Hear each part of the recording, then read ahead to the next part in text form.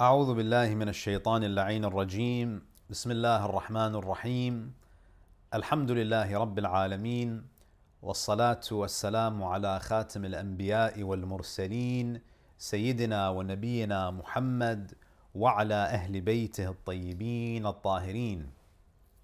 اللهم صل على Assalamu alaikum, dear brothers and sisters, rahmatullahi wa barakatuh.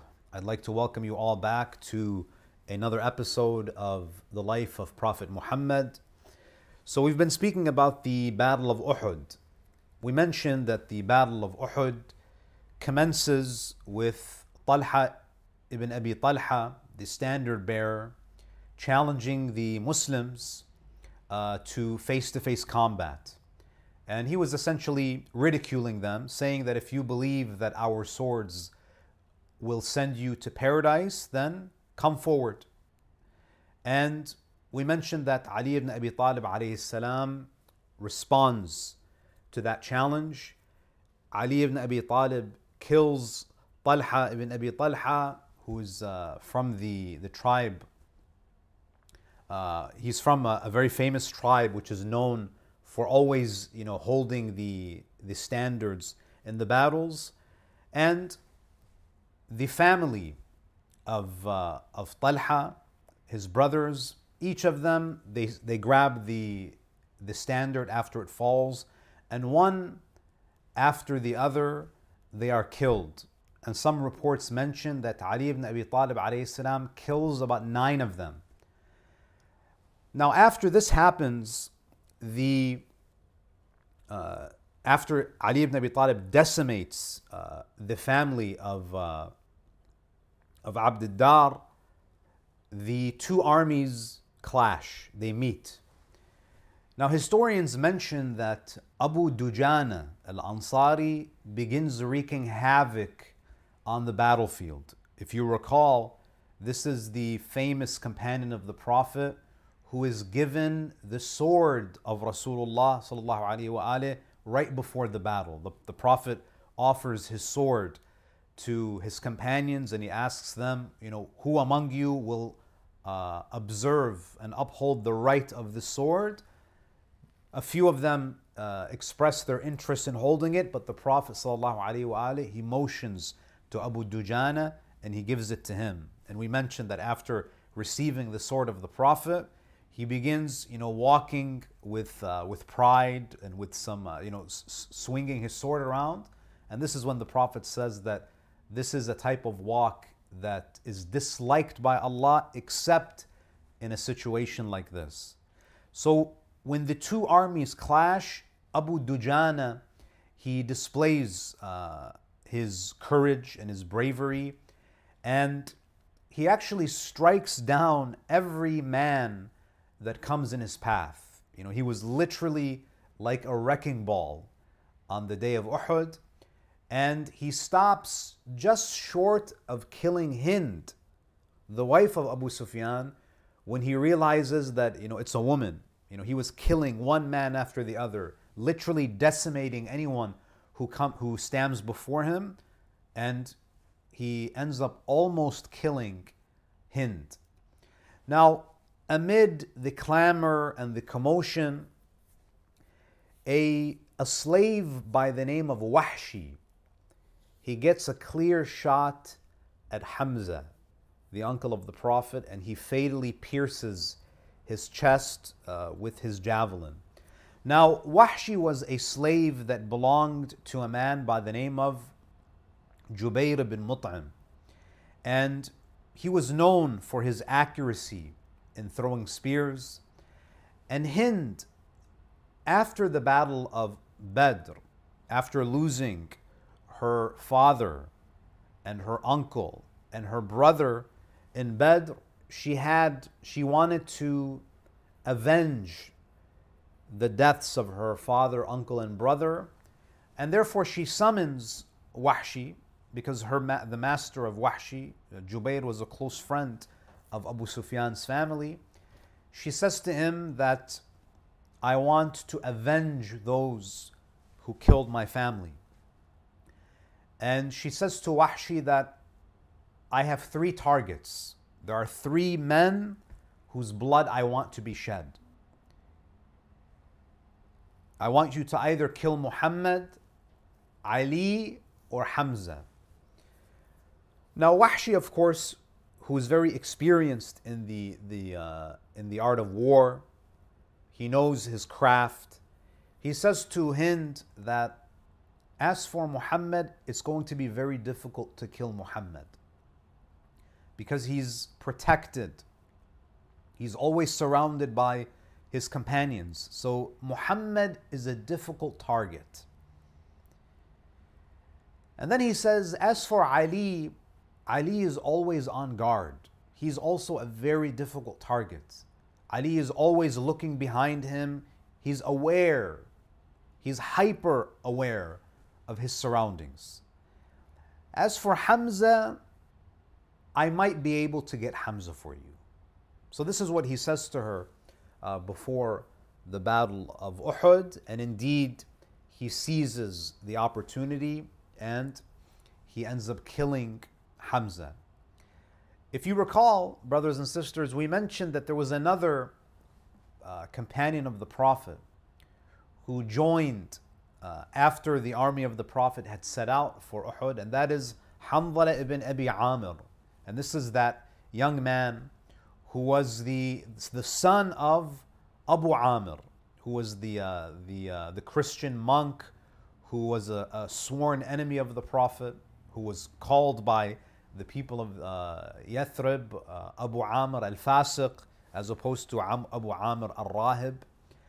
So this Hanzala was the son of that man, and he marries the daughter of Abdullah ibn Ubay, who was the head of the Munafiqeen.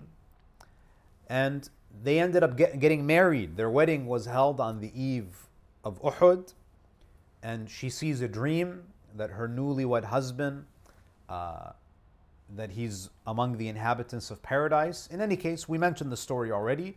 Hanzala uh, joins the battle uh, in a state of janaba, and he's martyred at the foot of Mount Uhud.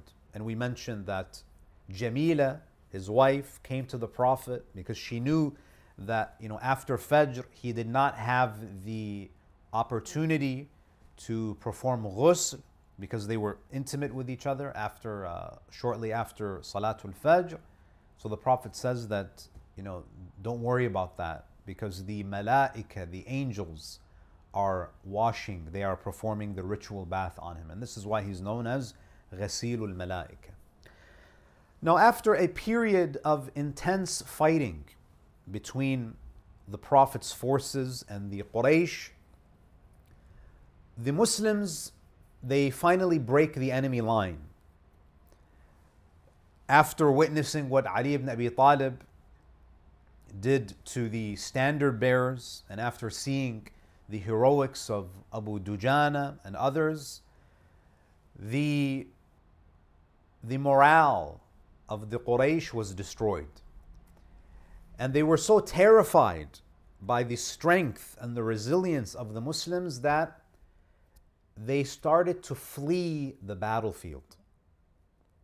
Al Bara ibn Azib, one of the companions of the Prophet, he who was an eyewitness, he says about the retreat of the mushrikeen on the day of Uhud, he says, when we fought them at Uhud, when we fought the pagans at Uhud, they turned and fled until I saw with my own eyes the legs of the women as they lifted their skirts running up the mountains, and I could see their ankle bracelets. So the men and the women they escaped, they fled. And Ibn Hisham adds that uh, I remember clearly seeing Hind and her female companions all running up the mountain. So there was there was a moment in the battle where it was clear the Muslims felt that that's it. The Quraysh has been defeated. The women, the men, they're all fleeing up the mountain. Now, the archers who were stationed on the hill of Ainain, if you recall, the Prophet told them, Do not leave your position under any circumstances. So they remained for some time. We don't know how long they remained on that hill, but it seems that they remained long enough to where the archers started to argue amongst themselves. When the mushrikeen retreated and they saw other Muslims gathering the ghanima, they were gathering the, the spoils of war, they were procuring uh, some of the, the most expensive weapons that were left at the battlefield because when the mushrikeen retreated, they were leaving behind uh, expensive weapons. They were leaving behind, in some cases, camels, tents, and other, other valuables. So these 50 archers, they're standing there and they're seeing all of their Muslim counterparts, you know, amassing all of this wealth in front of their eyes. And to them, the war is over. We defeated the mushrikeen. So what happens is that they have this, this fear of missing out. They, they perhaps thought that, you know, maybe the Prophet forgot us. He forgot to tell us. Maybe he forgot that we were on the, the hill. So a few of the archers suggest that, listen, you know, the battle, the battle is over. So let's descend and let's gather some of the spoils. Why should we deprive ourselves of the spoils? There was arguments. There was a dispute between the archers until eventually, and we don't know how, you know, maybe this argument continued for 20, 30 minutes, who knows? But about 38 archers abandoned their post to collect the spoils. And they leave Abdullah ibn Jubayr, who was in charge of them, with only about a dozen archers to protect the rear of the Muslim army. And this is where we see that Khalid ibn al-Walid and Ikramah, they, they spot an opening. And this shows you how skilled they were in battle. So even though the others ran away, they still stayed behind to, to see if there was a chance that they could turn the tide. They wanted to see if they could capitalize on the, uh, the negligence and the complacency of the Muslims. And indeed, that opportunity presented itself. So they spot that opening and they circle around to attack the Prophet's forces from behind. Khalid ibn al-Walid has about 200 men in his brigade, and they're on horses. And it seems that even those 12 archers, they came to the bottom. They remained on the hill, but they were on the bottom of the hill. And Khalid ibn al-Walid comes around and he slaughters the remaining 12 archers. Now, what happens next is that because the Muslims thought that the battle was over, many of them had put their weapons down and they were literally carrying the spoils. They were carrying shields and you know other items that the mushrikeen had left. So now they're not able to defend themselves. So Khalid ibn al-Walid literally has a field day with the Muslims, striking one after the other. What's interesting is that when you look at the Quran, and by the way, there are many uh, verses in Surah Ali Imran where Allah subhanahu wa ta'ala speaks about the battle of Uhud and some of the, uh, uh, he speaks also about the aftermath of Uhud. So if you want to uh, study what the Quran says about the battle of Uhud, Surah uh, Surah Ali Imran definitely uh, provides uh, quite a bit of insight. If you look at verse 152 of Surah Ali Imran, Surah number 3, you see that Allah subhanahu wa ta'ala sharply criticizes, He condemns those Muslims who disobeyed the Prophet, especially those archers who ignored the command of the Prophet and came down from that hill. Allah subhanahu wa ta'ala says, وَلَقَدْ صَدَقَكُمُ اللَّهُ وَعْدًا إِذْ تَحُسُّونَهُمْ بِإِذْنِهِ Allah says, and Allah had surely, certainly fulfilled His promise to you when you were killing the enemy by His permission. The battle was won by the Muslims. If they, if they remained obedient to the Prophet, Uhud uh, would have been a decisive victory, even more decisive than Badr. In fact, up until the moment when the archers came down, it's possible that there, were, there was not a single casualty uh, in the ranks of the Muslims.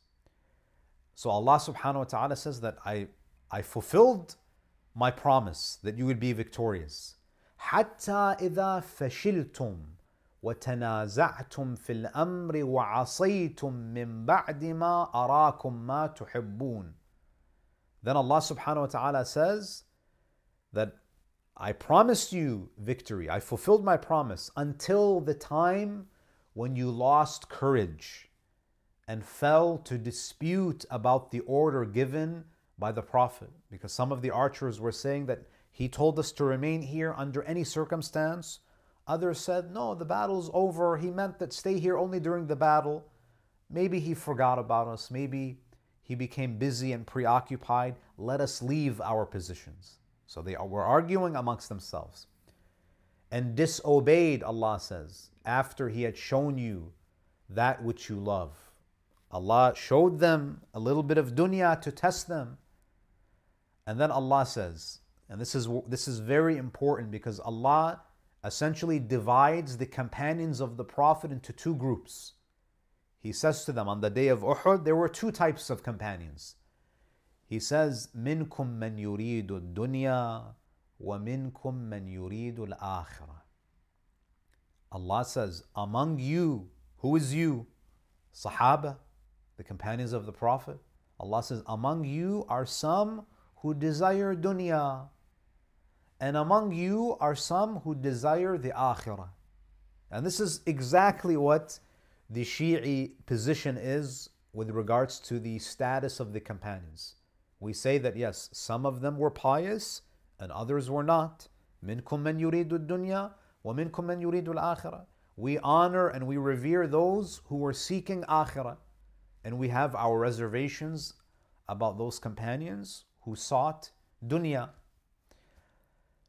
And then Allah subhanahu wa ta'ala continues, ثُمَّ صَرَفَكُمْ عَنْهُمْ لِيَبْتَلِيَكُمْ Allah then says, then he turned you back from them, defeated, that he might test you. وَلَقَدْ عَفَى عَنْكُمْ وَاللَّهُ ذُو فَضْلٍ عَلَى الْمُؤْمِنِينَ And Allah says that I have pardoned you for what you did in Uhud, and Allah is uh, the possessor of bounty for the believers. In verse 153 of Surah Ali Imran, Allah subhanahu wa ta'ala mentions the moment when the Muslims begin to flee and run up the mountain themselves. Allah says, إِذْ تُصْعِدُونَ وَلَا تَلْوُونَ عَلَىٰ أَحَدٍ Allah says, remember you, remember when you fled and climbed the mountain without looking aside. Allah saying that you ran without even looking behind you. وَالرَّسُولُ يَدْعُوكُمْ فِي أُخْرَاكُمْ You ran away you ran without even looking behind you while the messenger was calling you. Rasulullah was calling them to come back. And this, in and of itself, was a great act of courage by the Prophet. Because as we will, as we will mention, there was a moment in the battle when the mushrikeen thought that the Prophet was killed. And by shouting out to his companions, Come back, he was alerting to them, he was alerting them that I'm still alive. And the Prophet was their main target. So Allah subhanahu wa ta'ala says, Remember when you fled and climbed the mountain without looking aside at anyone, while the messenger was calling you from behind. He was telling you to come back, to return. So there is confusion in the ranks of the Muslims. They scatter. You know, after Khalid ibn al-Walid penetrates through the, the, the ranks of the Muslims, there was so much confusion because Khalid ibn al-Walid is in the middle. And some Muslims could not even distinguish who was a Muslim and who was a mushrik because he Khalid ibn al-Walid was right in the middle of the Muslims. He had Muslims on both sides. And this is why we have some reports that some Muslims accidentally killed other Muslims because there was so much chaos and pandemonium that it was difficult for them to uh, ascertain who they were actually fighting. Now, in the midst of this confusion, of course, majority retreated. They climbed the mountain. Others ran to Medina. There were some companions who literally went missing for three days. They were running and hiding. And they didn't show up for three days because they were completely terrified uh, in the battlefield. The Prophet ﷺ is left. So when the companions retreat, Rasulullah is left with only Ali ibn Abi Talib, Abu Dujana, and Sahel ibn Hunayf. Three people are left guarding the Prophet. Ali ibn Abi Talib is defending the Prophet with every atom of his being. And he's, he's pushing them back to the point that narrations mention that his sword breaks as he's fighting. So, as he's pushing the enemies back and protecting the Prophet, Ali's sword breaks and he turns to Rasulullah and he says, Ya Rasulullah, how can I defend you? My sword broke. I need, I need, I need a weapon. And this is where the Prophet gives Amir al Mu'mineen, according to some narrations, this is when he gives him Dhul Faqar. And as Ali is fighting off the mushrikeen, an angel, the narrations say, an angel cries out, seeing Ali giving all, using all of his energy and might to defend the Prophet, the angel calls out, La sayfa illa dhul faqar, wala fata illa Ali. There is no sword other than dhul faqar, and there is no warrior like there is no warrior but Ali. Of course, this is hyperbole because there were other swords, but Ali's sword was so effective that it's as if there was no other sword on that day except the sword of Ali. There were warriors on the day of Uhud, but Ali's courage was so great that it's as if there was no warrior on that day other than Amir al Mu'mineen Ali ibn Abi Talib. Now, in addition to those three who were defending the Prophet, because Rasulullah is now surrounded by the brigade of Khalid ibn al Walid. So you have 200 against three, and four if you include the Prophet. So Ali and Abu Dujana and Sahel ibn Hunayf, they're literally three men trying to fight off 200 men who are trying to kill the Prophet. May Allah's peace and blessings be upon these individuals, especially Amir al Mu'mineen.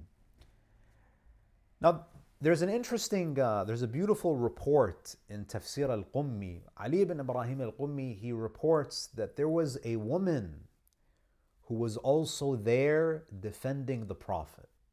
And her name was Nusayba bint Ka'ab al Maziniya.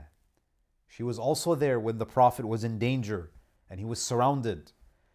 This Nusayba was one of the the uh, the women who pledged allegiance to the Prophet at the second Aqaba pledge. So she was one of the two or three women uh, who pledged to the Prophet in the second Aqaba pledge.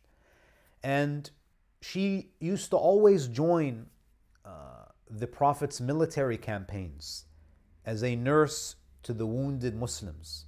So she had a very important role in these uh, military expeditions. So she was at Uhud, and she was at Uhud with her son.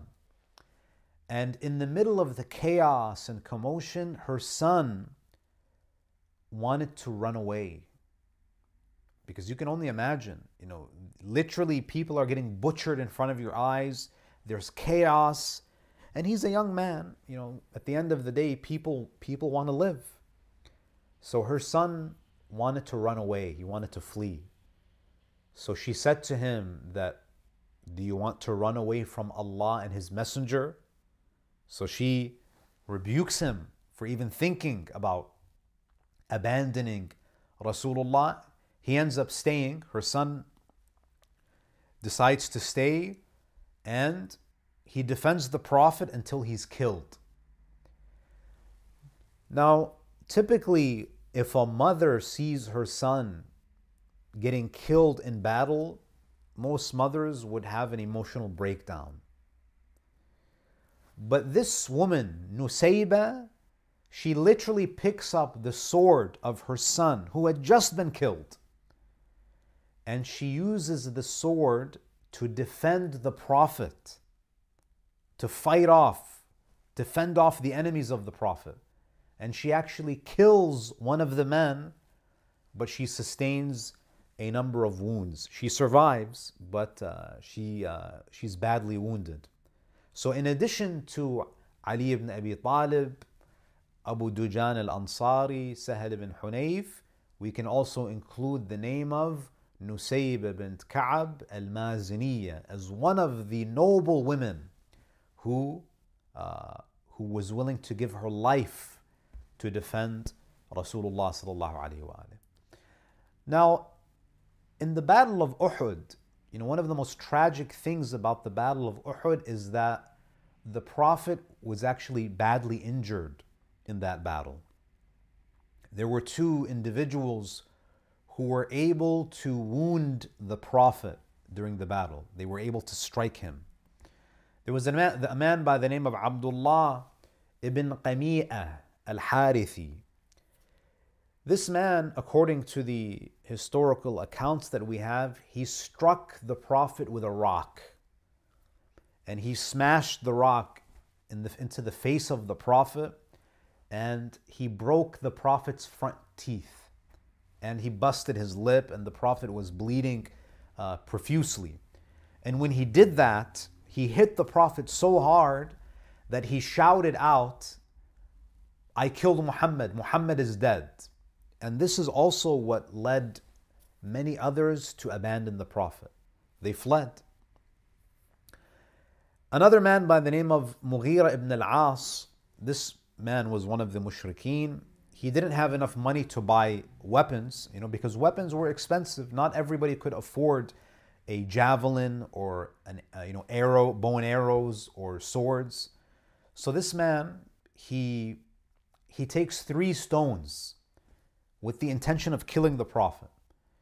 And he manages to hit the, the hand of the Prophet. And he knocks uh, the sword of the Prophet from his hand. And with the other rock, he smashes it against the forehead of the Prophet, and the Prophet, uh, blood begins spilling uh, from his forehead. And, and he also, so Mughira also cries out that, you know, Muhammad is dead. And this is where you see, unfortunately, many companions uh, retreated. Many of them, there were some who retreated when Khalid ibn al Walid attacked, and others ran away. They gave up after they heard that call that Muhammad has been killed.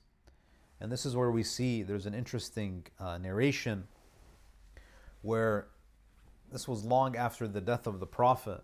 Someone asks Imam Ali ibn Abi Talib that, you know, why, why did you stay in the Battle of Uhud after that call was made that Muhammad has been killed? Why did you stay while others fled? So Amir al-Mu'mineen, he says, go and ask the ones who ran away and then after they answer you, come back to me and I'll, I'll tell you why I didn't flee. So the narrator, he goes and he essentially interviews some of those companions who were still alive, who fled in the Battle of Uhud, and he asked them, you know, why did you retreat? Why did you run away in the Battle of Uhud? And they said that because we thought the Prophet was killed. And we thought to ourselves, you know, what's the point of fighting if Muhammad has been killed? So we ran away. So the, the narrator returns to Amir al Mu'mineen and he says, O Ali, I spoke to those companions who fled, and this is what they said. They said to me that we ran away because someone called out, Muhammad has been killed, and we thought, what's the point of fighting? What's the point of continuing to fight if Muhammad has been killed? That's why they ran away. So, oh, Ali, why did you stay? This is where Amir al Mu'mineen he says, the reason why I stayed is because in my mind, what is the point of living anymore if Muhammad has been killed? And this is where you see a stark difference between Ali ibn Abi Talib and others. Allah subhanahu wa ta'ala criticizes many of the companions in Surah Ali Imran, verse 144, where he says, وَمَا مُحَمَّدٌ إِلَّا رَسُولٌ قد خلت من قبله الرسل أفإن مات أو قتل انقلبتم على أعقابكم ومن ينقلب على عقبيه فلن يضر الله شيئا وسيجزي الله الشاكرين Allah says Muhammad is not but a messenger. Other messengers have passed on before him. So if he was to die, rather if he is killed, would you turn back on your heels? Meaning, would you go back to kufr and disbelief? Would you go back to your old ways? And he who turns back on his heels will never harm Allah at all, but Allah will reward the grateful. So the Prophet is badly wounded. Uh, some reports mention that he was unconscious for a few moments. He regains consciousness. He climbs to higher ground because uh, it seems that he fell into one of those, uh, those ditches uh, the Prophet ﷺ, because of the heavy fighting, uh, he removes a few rings of chainmail that were embedded in his cheeks. And when he removes them, some blood trickles down his face. And when the Prophet sees blood dripping down his face, he makes the following remark. He says, How can a people who cut the face of their Prophet and break and, and broke his teeth. A prophet who calls them to worship Allah. How can such people thrive or be successful? And then the narration says that the Rasulullah paused for a moment and he said, Allahumma qawmi fa innahum la ya'lamun. My Lord, forgive my people, for they have no knowledge. And this is an amazing dua, brothers and sisters, because number one, the Prophet still calls these people, the mushrikeen, he still calls them my people. Yes, they're wicked, they're corrupt, but I still feel a sense of responsibility to them. I'm concerned about them. Forgive my people, for they have no knowledge. And this is a dua that the Prophet is making 13 years, uh, not 30, 16 years almost 16 years, 15, 16 years after the bi'tha. So even though the Prophet has been preaching to them for at least 12 years, the Prophet says that they still don't know enough. They're still ignorant. So you see the mercy of the Prophet even in the heat of battle, even as blood is pouring from his face, he still makes dua that, oh Allah, forgive them, forgive my people, because they don't, they don't know. Now you can imagine after a couple of individuals who attacked the Prophet, after they claimed that they killed the Prophet, there was a lot of confusion about whether the Prophet was dead or alive. And the Prophet managed to, to climb up the mountain to find a secure place. Uh, and this is where you see that even Abu Sufyan was, was confused about whether or not the Prophet was still alive or not. He didn't know. Some of his men are saying that Muhammad has been killed, others are saying that no, we think he's still alive. So we have the following narration that says, Abu Sufyan was on one of the hills, he was on the Mount Uhud, and it seems that the Muslims and the mushrikeen, at least some of them were, were hiding in the mountains. Abu Sufyan, he climbs Mount Uhud and basically he declares victory.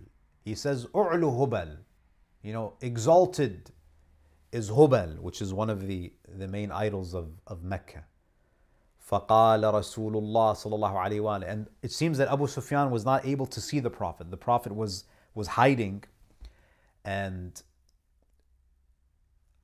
when the Prophet hears Abu Sufyan praising Hubal, Hubal, he says to Amir al-Mu'mineen, O Ali, say, قل له, say to Abu Sufyan, Allahu a'la wa ajal. Say to him that God is greater and more exalted. فقال يا علي إنه قد أنعم علينا. Abu Sufyan says to Ali that, that the God's, God has shown us favor. He has favored us over you. We defeated you.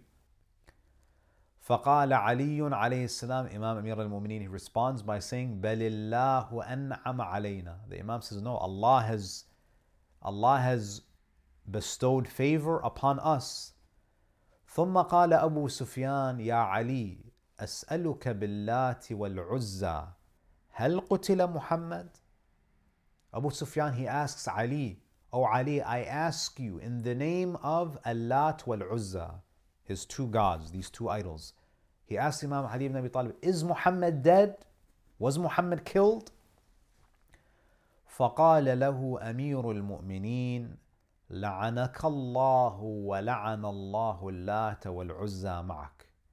The Imam says, May Allah curse Allat wal Uzza and may He curse you, O Abu Sufyan. Wallah ma qutila Muhammad. I swear by God that Muhammad was not killed. وهو يسمع كلامك and he can hear you now. He's with me. فقال أنت أصدق لعن الله ابن قميء زعم أنه قتل محمدا Abu Sufyan says, You're right. I trust you, O Ali, more than I trust uh, those men who claimed to kill the Prophet. So you see that there was confusion even up until the end of the battle.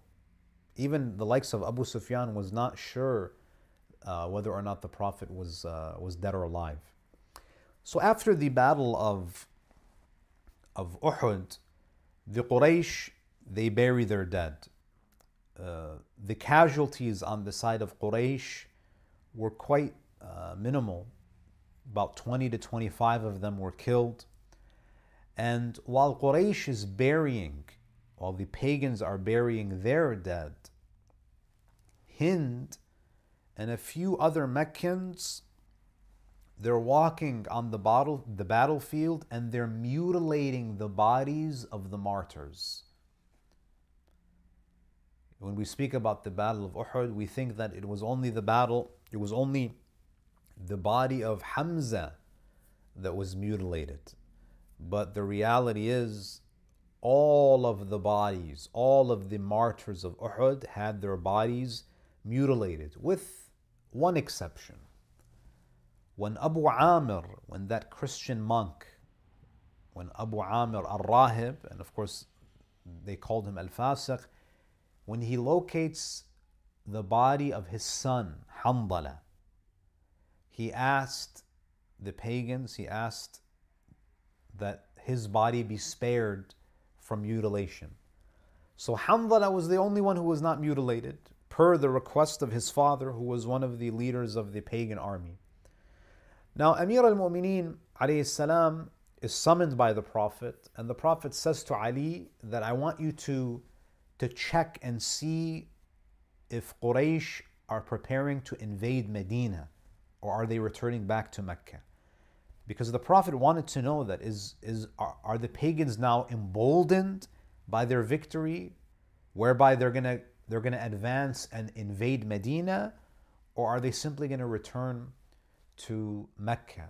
And the Prophet says to Ali that if you see them mounting their camels, then they are uh, preparing to go back But if they mount their horses, then you know this is going to be a very dangerous situation because that means that they're going to enter uh, Medina and we have to catch up with them because our city does not have enough people to defend against an invasion. So the Prophet sends Ali on a reconnaissance mission, and Ali ibn Abi Talib reports back to the Prophet that indeed they are preparing to return to Mecca and they're not going to invade Medina. When the Prophet ﷺ descends to the battlefield, so he was, you know, in the mountains, uh, and then he comes down, and of course he sees the the bodies of the shuhada, and the bodies are martyred, and he's angered by the sight of the mutilated bodies. And some of the Muslims, especially after seeing how gruesome the mutilation was, some of them were suggesting that, you know, for every uh, mutilated body, we should avenge by mutilating X amount of bodies from the, the mushrikeen, or we should retaliate 10 times, tenfold. And this is where Allah subhanahu wa ta'ala reminds the Prophet and He reminds the Muslims that, that you should not retaliate in that way. In Surah Al-Nahl, verse 126, Allah says, وَإِنْ عَاقَبْتُمْ فَعَاقِبُوا بِمِثْلِ مَا عُوقِبْتُمْ بِهِ And if you want to punish an enemy, O believers, punish with an equivalent of that which you were harmed. وَلَئِن صَبَرْتُمْ لَهُوَ خَيْرٌ لِلصَّابِرِينَ But if you are patient, it is better for those who are patient.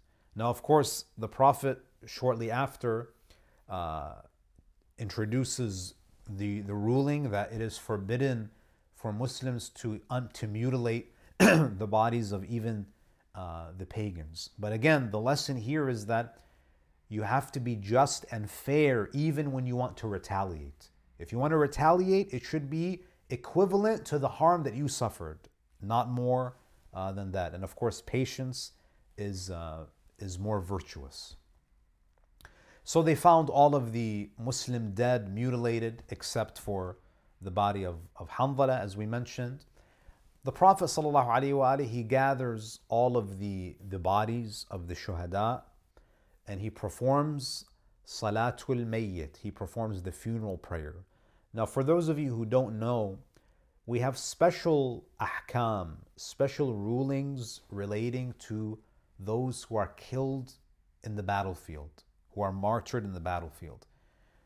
So, a couple of exceptions when it comes to how we prepare for their funerals is that they are not given ghuslul mayyit, they're not given that ritual uh, bath, the three washes that we typically give to a deceased. They're not given any ghusl and they're not shrouded. They're not, we don't do ghusl or takfeen. They are buried in their clothes with their blood as is. So the Prophet recites uh, Salatul Mayyit, and as many of you know, Salatul Mayyit is basically it's comprised of five takbirat followed with uh, certain adhkar, certain uh, invocations and uh, and uh, you know words of, of praise. The Prophet ﷺ, he offers a very special funeral prayer for Hamza. So typically, Salatul Mayyit is comprised of five takbirat, five takbirat, no more than that. But with Hamza, Rasulullah recites 70 takbiras. And this speaks to the great status, the lofty status of Hamza bin Abdul Muttalib. And you know, up up until the martyrdom of Imam al-Hussein, he was known as Sayyid al-Shuhada, the master of martyrs. Now, when the Prophet uh, returns to Medina, and it's not clear whether Fatima Zahra uh, goes to Uhud or if she sees him on his return from Uhud. But in any case, when Lady Fatima salam sees her father's face and he sees how badly wounded uh, he is, she says, she raises her hands in dua and says, May Allah's anger be upon those who bloodied the face of the Messenger of God. Now, there were a number of notable personalities who fell on the day of Uhud. Among them, of course, is Hamza, the most important and the greatest loss on the on the uh, on the day of Uhud was was of course the martyrdom of Hamza. And then, of course, Hanzala ibn Abi Amr, and then Mus'ab ibn Umayr, the great companion of the Prophet, uh, was martyred in the Battle of Uhud. And this is the same Mus'ab who the Prophet sent to Yathrib to teach the people of Yathrib Quran. And this man is responsible for the conversion of many of the residents of Medina. This is the first man to lead Salatul Jama'ah in, in Medina. So losing Mus'ab ibn Umair was indeed a devastating loss. And it was such a devastating loss for the Prophet that when the Prophet was lowering Mus'ab ibn Umair into his grave, the Prophet recited verse 23 of Surah Al Ahzab that reads, من المؤمنين رجال صدقوا ما عاهدوا الله عليه فمنهم من قضى نحبه ومنهم من ينتظر وما بدلوا تبديلا. the fact that the Prophet recited this verse really highlights what a great personality Mus'ab ibn Umair was. The Prophet says, reciting the ayah of the Quran, among the believers are men who were true to what they promised Allah. They were true to the promise that they made to God.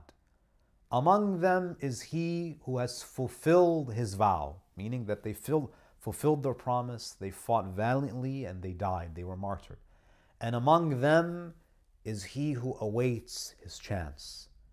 And they did not alter the terms of their commitment by any alteration. Now, after the Battle of Uhud, and there were approximately 70, at least 70 Muslims were martyred in Uhud. and you can only imagine when you lose 70 men, that means that now you have a community back in Medina where there are now many widows and orphans. And there are families who are having trouble coping with these, uh, with the loss of their loved ones. And this is where you see some very important ayat of Surah Al Baqarah being revealed. So Allah subhanahu wa ta'ala says, uh, beginning in verse 153 of Surah Al Baqarah, يا أيها الذين آمنوا استعينوا بالصبر والصلاة إن الله مع الصابرين. O you who believe, seek help through patience and prayer. Indeed, Allah is with the patient. So Allah now is consoling the, the Muslim families, giving them the spiritual tools to endure uh, these great losses. And then Allah subhanahu wa ta'ala addresses the issue of martyrdom. He reminds those families who gave, you know, sons and husbands or nephews or fathers. ولا تقولوا لمن يقتل في سبيل الله أموات بل أحياء ولكن لا تشعرون. Allah says, and do not say about those who are killed, especially the ones who were just killed in Uhud. don't say that don't say about those who are killed in the way of Allah that they are dead. Rather they are alive, but you perceive not. You don't you don't realize it. You don't perceive, but they are in the presence of their Lord. They're in a a temporary paradise, a barzakhi paradise. So just because you can't see them and you can't interact with them, don't think that they are dead. وَلَنَبْلُوَنَّكُمْ بِشَيْءٍ مِّنَ الْخَوْفِ وَالْجُوعِ In verse number 155, وَلَنَبْلُوَنَّكُمْ بِشَيْءٍ مِّنَ الْخَوْفِ وَالْجُوعِ ونقص من الأموال والأنفس والثمرات وبشر الصابرين. And Allah again reminds the Muslims that this shouldn't be a shock to your system. We will surely test you with something of fear and hunger and the loss of wealth and lives and fruits, but give good tidings to the patient. You know, Don't think that every battle is going to be like Badr, where it's a decisive victory and life is good. No, this dunya is going to have its ups and downs. So, so these are very you know potent reminders to the uh, to the the community in Medina. So then Allah describes, you know, who are the patient ones? Because yes, you will be tested in a in a uh, in a variety of ways. But Allah says, give glad tidings to the patient. Who are the patient? الذين إذا أصابتهم مصيبة قالوا إنا لله وإنا إليه راجعون. The patient ones are those who, when an affliction strikes them, they say, Indeed, we belong to Allah, and indeed to Him we will return. So they recognize two realities. Number one is that they recognize that God is the absolute owner of everything. He owns everything, including myself. So no matter what I lose, it's not a loss. It's simply, it's not something that was taken away from me. Because me and my belongings and my possessions all belong to Allah. So when anything leaves and departs, it's essentially returning to its original owner. And the phrase "Wa inna ilayhi raji'un" is a reminder of the impermanence of this life. أُولَٰئِكَ عَلَيْهِمْ People who are like this, those who have sabr, أُولَٰئِكَ عَلَيْهِمْ صَلَوَاتٌ مِّن رَبِّهِمْ وَرَحْمَةٌ وَأُولَٰئِكَ هُمُ الْمُهْتَدُونَ Those, those who understand إِنَّا لِلَّهِ وَإِنَّا إِلَيْهِ رَاجِعُونَ and they live according to those truths, those are the ones upon whom are blessings from their Lord and mercy, and it is those who are the rightly guided. Now, the heavy losses at Uhud bring another unforeseen challenge to the community, as we mentioned, with so many, with the deaths of so many husbands and fathers. How would the Muslim community ensure the welfare of its widows and orphans? Surah An-Nisa hints at a solution. Allah subhanahu wa ta'ala in verse number 3 of Surah An-Nisa he mentions the idea of men marrying more than one woman. And this is one of the ways in which uh, the Quran suggests, on how, suggests how to deal with the growing number of widows and orphans. Inshallah, in our next episode, we'll speak in a little bit more detail about some of the, the after effects and the ramifications uh, that followed the Battle of Uhud. Thank you so much, brothers and sisters, for tuning in once again.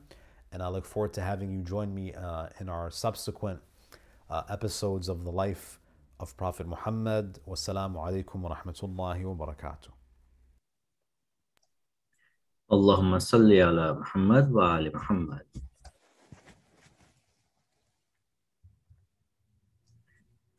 Thank you for the lecture. So when uh, Imam Ali was uh when you gave the story about Imam Ali uh, saying that he would life is not worth living without the Prophet Muhammad. Yeah. Uh, I guess there's two questions related to that. Yeah. One, didn't Imam Ali know that the Prophet Muhammad, that the Prophet was still alive because he was next to him in the whole during the whole battle? And if he didn't, then uh, having the sentiment of like, isn't the sentiment that life is not worth living if the Prophet is killed uh, contradict with his responsibility of vilayat? So that's a very good question. Now, I, I think that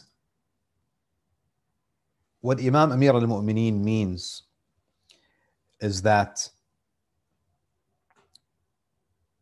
protecting the Prophet is of such great importance that if if Allah subhanahu wa ta'ala's plan is for Ali to be killed and uh, to continue to advance his message, then the Imam salam is willing to do that. Of course, we know that the Prophet sallallahu revealed and disclosed information to Amir al-Mu'mineen regarding some future events, but we don't know when this happened. I mean, when Amir al-Mu'mineen salam is fighting in these battles, uh, we don't know if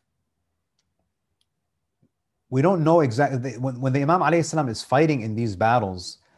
We don't know how much ilmul ghaib the Prophet disclosed to him.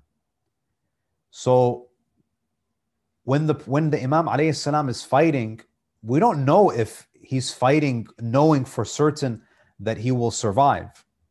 Perhaps the Prophet did not share with him, uh, you know, some of the things that will happen into the future yet, because the Imam alayhi used to have regular encounters and meetings with the Prophet, and, and, at each of these meetings, he would share more and more information with uh, with the Imam. So that's number one. Number two, yes, Ali ibn Abi Talib can see that the Prophet is alive. But hypothetically, if the Prophet was, was to be killed, Imam Amir al-Mu'mineen alayhi wouldn't just say that, okay, let me just protect my own life.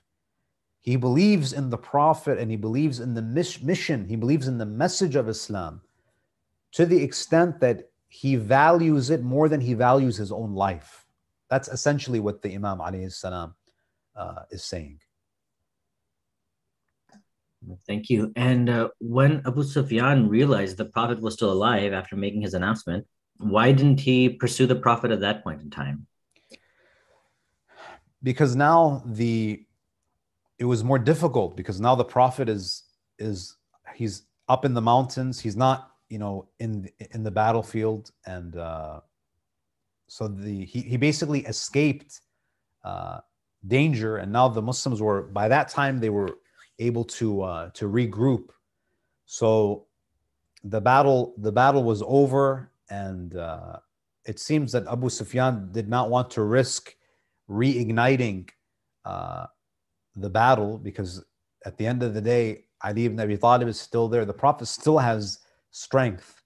So uh, the Prophet basically was out of harm's way at that point, and it, it, it just wasn't strategic for uh, for Abu Sufyan to continue. Interesting. And and then why is it that eh, wasn't it the case that the standards uh, were established for how the spoils of war should get distributed after the battle?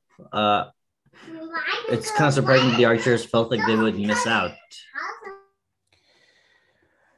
You know, the uh, when it comes to the uh, the the laws regarding spoils a lot of a lot of these laws are revealed gradually.